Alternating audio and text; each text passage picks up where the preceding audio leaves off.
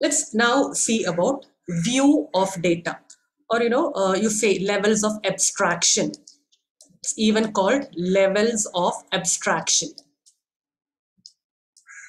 Now there are three views of data or three levels of abstraction. You call them physical level, logical level and view level.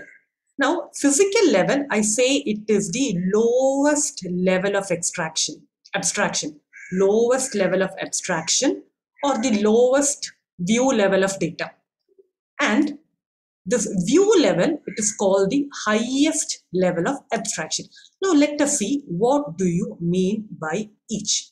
Now, we'll first see what do you mean by physical level abstraction. As I told you earlier, physical level is nothing but the lowest level It is the lowest level of abstraction.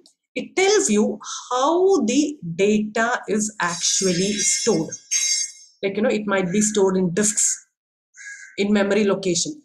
That level, that level of abstraction of data where how a particular record, how the customer is stored, where it is stored, that is what you call by the physical level of abstraction you have an intermediary level or the logical level. From the name itself, it describes how it is stored in the database.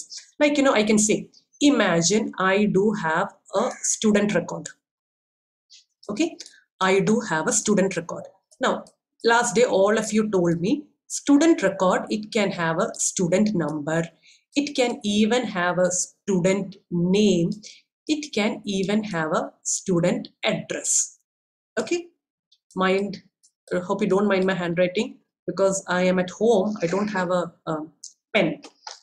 Uh, so now I do have a record called student. So I can say the student is a record and I do have an attribute called student number another attribute called student name and another attribute called student address and I can even be more specific. I can say student number, it will be a character. And let's say it has a size of 10. Student name, that can also be a character. Let's say it be of size 20. I can have long names. Okay. And let's say uh, student address, it can also be a character. And let's say size 40. So this kind of a detailing, how it is stored in the database you call it logical level of abstraction. I can even have one more, let's say student mark. Mark can be an integer or a number. Now, all these kind of details of how the data is stored in the database and the relationships among data. Now, you will be having a student record. You will even be having another record called mark.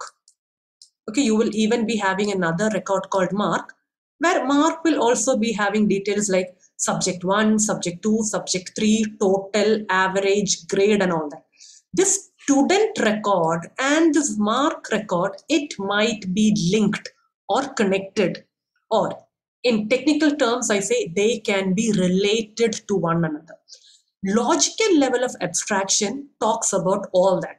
How is data stored in the database and what is the relationship among the data. You have a third level. The third level is the view level. The view level is actually what the user sees. The user, he is not bothered about how data is stored, what is the logical uh, view, like, you know, what are the data types, how are tables connected. He is not bothered about all that. He just sees the application programs, whether it runs perfectly, or not. You need not see all the internal details. That is the highest level of abstraction and you call it the view level. So just quickly go once again. You have three levels. The physical level, how data is stored.